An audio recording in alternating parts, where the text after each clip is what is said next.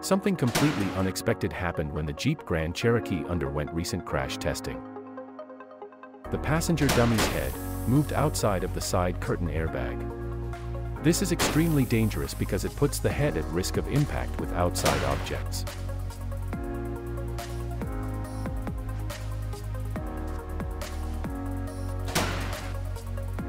If you found this interesting, please subscribe to see more captivating videos about auto safety.